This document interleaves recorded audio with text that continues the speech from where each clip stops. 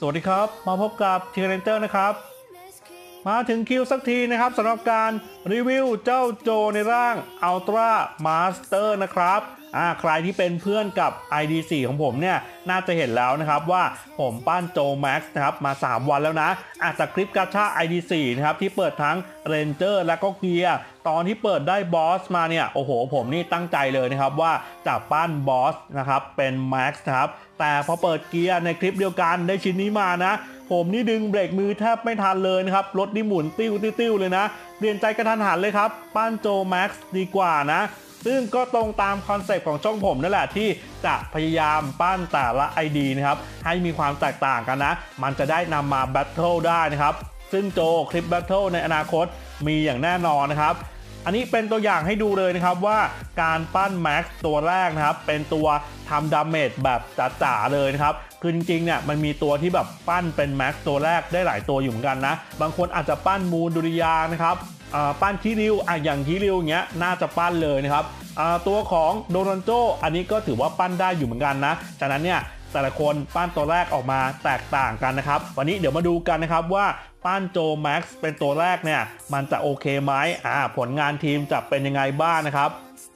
ตัวนี้ถือว่าผมเนี่ย ปั้นย้อนหลังนะโคโรโบกัชแมนมาตั้งแต่มิถุนาแล้วนะครับ ใครที่เป็นประมาณผมเนี่ยเปิดไม่ได้ตัวใหม่ เปิดไม่ได้ตัวดีๆ หรือเปิดได้แต่ตัดสินใจว่าเฮ้ยปั้นตัวเก่าดีกว่า อันนี้มันก็โอเคอยู่เหมือนกันนะ ranger ยังถือว่าใช้งานได้ดีอยู่นะครับตัวทำ damage ธาตุไม้ผมไม่มีเลย ตัวที่แบบทำ damage หนักๆจ๋าๆเนี่ย ผมมองตัวนี้คล้ายคลึงกับชุนอากิยามะนะครับ เป็นตัวทำ damage สายว่องไวธาตุไม้มาจากโคโรโบเหมือนกันนะครับแล้วก็มีค่าแฝงถึกเล็ก ๆ เหมือนกันทั้งคู่นะ แต่ตัวนี้มันดีกว่าตรงที่ว่ามี damage ทั้ง 2 skill นะครับอ่าโจครับอะเดี๋ยวมาดูกัน โจปั้น max นะครับพลังโจมตีกายเดิมนะครับมีอยู่ 1 ล้าน1แสน6หมื่นนะครับถ้าเป็น hyper เนี่ยมันจะเพิ่มขึ้นมานะครับเป็น1ล้าน1แสน9หมื่นนะครับเกือบเกือบๆจะล้าน2นะครับอะตัวนี้เป็นอีกหนึ่งตัวนะที่ damage ultra กับ hyper ต่างกันนะครับอ่าพลังชีวิตจะเท่ากันทั้ง 2 ร่างนะ ก็เกือบเกือบ5ล้าน2นะครับ ตัวนี้ยืนค่อนข้างจะ เป็นกลุ่มข้างหน้านะครับ แต่ก็โอเค ไม่ได้ใกล้มากมายนะครับเคลื่อนที่ 94 ถือว่าใช้ได้นะครับ ความเร็วในการโจมตีถือว่าไวมากเลยทีเดียวนะครับนี่เป็น Max นะครับอัลตร้าก็ลดลงมาเหลือ 4.5 เรื่องของอัตราการใช้แรกก็เกือบเกือบจะเยอะแล้วนะพันหนะครับ ตัวนี้ผมตัดสินใจว่าปั้นเป็นแค่อัลตร้าพอนะครับ เพราะว่า ID นี้เนี่ยมันมีปัญหาเรื่องของการปล่อยตัวนะครับเกียร์ยังไม่พร้อมสักเท่าไหร่นะ คือผมเนี่ยจะเน้นหนักไปที่เรนเจอร์นะครับแล้วค่อยตามด้วยเกียร์ ถ้าเกิดรูบี้เหลือเนี่ยค่อยตัดสินใจเปิดเกียร์ แต่เดือนนี้ผมบอกเลยว่าไม่เปิดแล้วนะครับ มองยาวไปถึงโคโรโบแล้วนะ แล้วก็ตัว max ตัวต่อไปเนี่ยน่าจะปั้นตัวโคโรโบนะครับ ส่วนตัวนี้เนี่ยรอดูก่อนนะครับ อาจจะปั้นย้อนหลังได้นะอ่า ranger นะครับสามารถปั้นย้อนหลังได้อยู่เหมือนกันนะสำหรับตัวที่แบบว่า มันยังใช้งานได้ดีอะไม่ได้โดน nerf นะครับ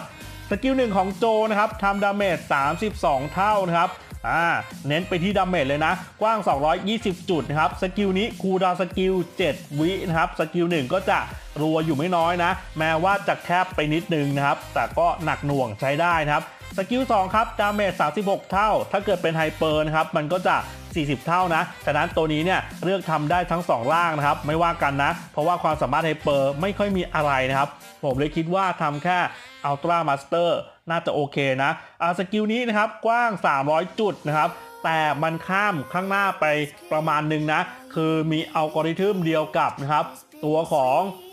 โคนี่แอลิสนะครับอ่าแล้วก็ตัวใหม่นะ ตัวฮันนี่ก็เหมือนกันข้ามข้างหน้าไปนิดนึงนะครับ แล้วก็เจสสิก้าคือจะมี ranger อยู่ไม่กี่ตัวเนี่ย ที่ damage จะข้ามข้างหน้าไปเล็กน้อยนะครับ ไม่เหมือนทนายนะ ทนายนี่ซัดไปข้างหลังเลยนะครับ มีความแตกต่างนะอ่า cooldown skill 12 วิครับ ultra hyper ก็จะลดลงมาเหลือ 9 นะครับ จุดที่โดดเด่นคือมี damage ทั้ง 2 skill แล้วก็ skill 1เนี่ยจะรัวนะครับ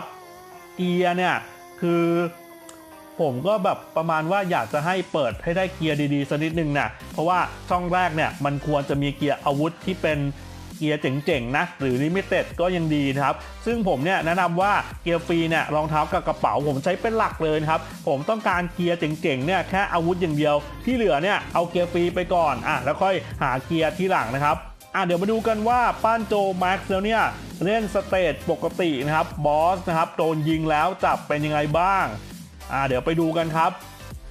เพราะว่าเกียร์นี้ก็ถือว่าจ่มอยู่ไม่น้อยนะอ่าในส่วนของ option 4 ผมก็เลือกเป็นพลังโจมตีกายเลยนะครับ up มา 1 ระดับแล้วนะ เฮ้ยเฮ้ยใจเย็นๆ โอเค อัตราการใช้แร่เหลือ 864 นะครับ จากการใส่เกียร์ลดแร่นี่ แล้วก็วิ่งค่อนข้างจะไวนะครับ skill หนึ่งครับ นี่ โอ้โห skill หนึ่งนี่ก็ซัดไปเกือบครึ่งหลอดแล้วนะ นี่ครับ แล้วก็ขึ้นพลาดนะครับ จากเกียร์ครับ ยังเป็น skill หนึ่งอยู่ โอ้โห skill หนึ่งนี่อย่างเดียวก็หมดละ เนี่ยเป็นไงหนักมาก โอ้โห skill 2ตาม นี่ครับ skillหนักมากครับดาเมจ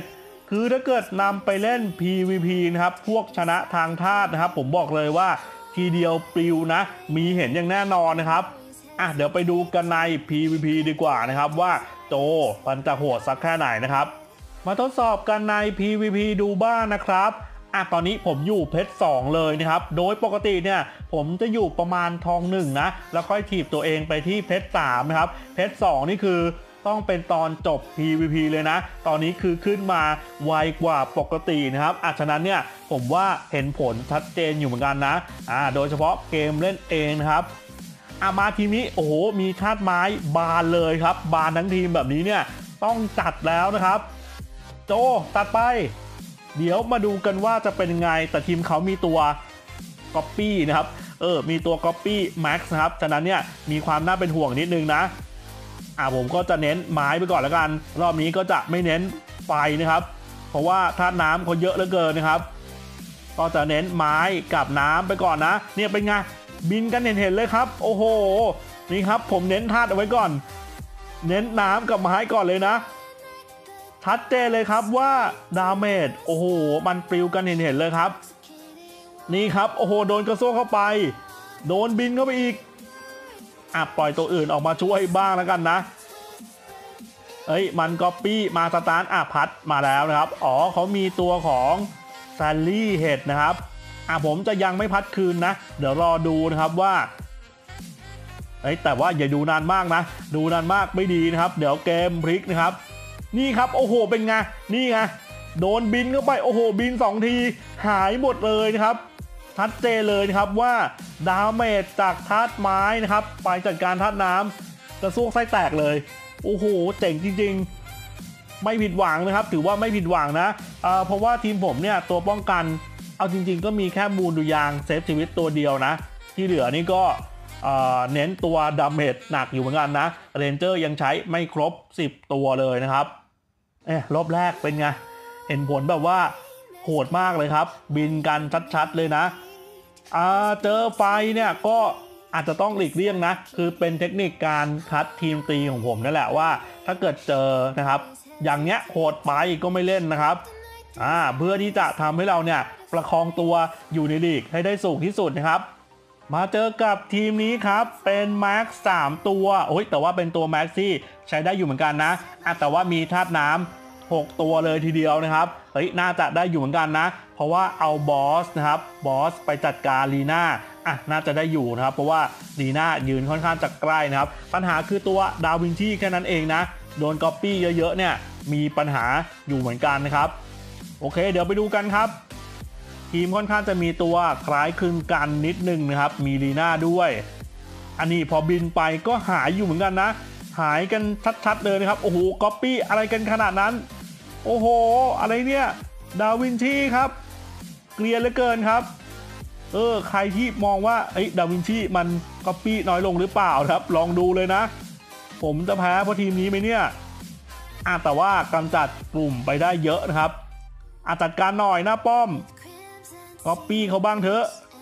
โอ้โห damage หนักนี่ครับ ดูนะครับว่า damage หนักจริง ๆ นะสำหรับตัวของโจนะครับ อ่าพัดมา โอ้โห เกาลีไม่ทำงาน